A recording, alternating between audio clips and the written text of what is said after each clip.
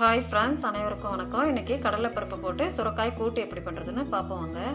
அரை கிலோ சுரக்காய் வாங்கி வச்சுருக்கேன். ஒரு சின்ன தக்காளி ஒரு மீடியம் சைஸ் வெங்காயம் ஐம்பது கிராம் கடலைப்பருப்பு வந்துட்டு வாஷ் பண்ணிவிட்டு ஊற வச்சுருக்கேன். ஒரு கால் மணி நேரம் ஊற வச்சுக்கோங்க போதும். இப்போ அடுப்பு ஆன் பண்ணி பாத்திரம் வச்சாச்சு. இப்போ நம்ம ஊற போட்ட கடலைப்பருப்பை இதை ஆட் பண்ணிப்போம்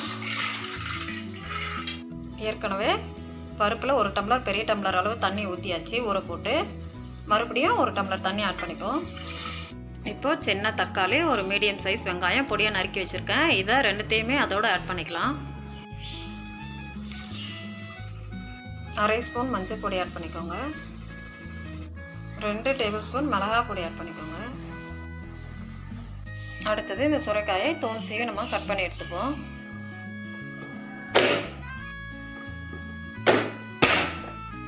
பாருங்கள் இப்போது வெஜிடபிள் கட்டர் வச்சு அழகாக பொடி பொடியாக நறுக்கியாச்சு. கடலைப்பருப்பு இப்போது அரை வேக்காடு வெந்துருச்சு. இப்போ இதில் சுரக்காயை ஆட் பண்ணிக்கலாம். இப்போ இந்த காயை ஒரு பத்து நிமிஷம் வேக விடுங்க போதும். உப்பு வந்துட்டு நம்ம இந்த காய்கள்லாம் வெந்ததுக்கப்புறம் நம்ம லாஸ்ட்டாக உப்பு ஆட் பண்ணிப்போம். முதலே உப்பு ஆட் பண்ணிட்டிங்கன்னா காய் சரியாக சீக்கிரம் வேகாது. லேட் ஆகும் வேகிறதுக்கு. அதனால் நல்லா வெந்ததுக்கப்புறம் நம்ம லாஸ்ட்டாக உப்பு ஆட் பண்ணிப்போம். இப்போது நல்லா வெந்துருச்சு. தேவையான அளவு உப்பு ஆட் பண்ணிப்போம்.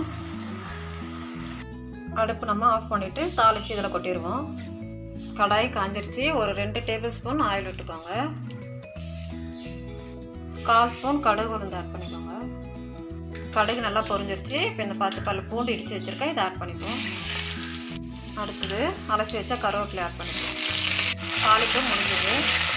பாருங்கள் ஃப்ரெண்ட்ஸ் இப்போது சூடான சுவையான சுரைக்காய் கூட்டு ரெடி இதோடைய நன்மைகள் வந்துட்டு பார்த்திங்கன்னா சுரைக்காயில் நிறைய நீர்ச்சத்து இருக்கிறதுனால நம்ம வாரத்தில் ஒரு முறையாவது இந்த மாதிரி நீர்ச்சத்து உள்ள காய்களை எடுத்துக்கிறதுனால நம்ம உடலுக்கு தேவையான நீர்ச்சத்து நமக்கு கிடைக்கும்.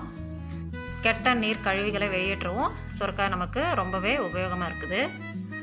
இப்போது வெயில் சீசன் ஆரம்பிச்சிருச்சு. ஸோ இந்த மாதிரி நீர்ச்சத்துள்ள காய்களை வாரத்தில் ஒரு முறையாவது கண்டிப்பாக நீங்கள் உபயோகிக்கணும். உணவில். நீங்களும் வீட்டில் கண்டிப்பாக ட்ரை பண்ணி பாருங்கள் இந்த வீடியோ உங்களுக்கு பிடிச்சிருந்தால் லைக் பண்ணுங்கள் ஷேர் பண்ணுங்கள் கமெண்ட் பண்ணுங்கள் அண்ட் சப்ஸ்கிரைப் பண்ணி பக்கத்தில் இருக்க பெல் ஐக்கானையும் டச் பண்ணிடுங்க டேக் கேர் பபாய் ஃப்ரெண்ட்ஸ்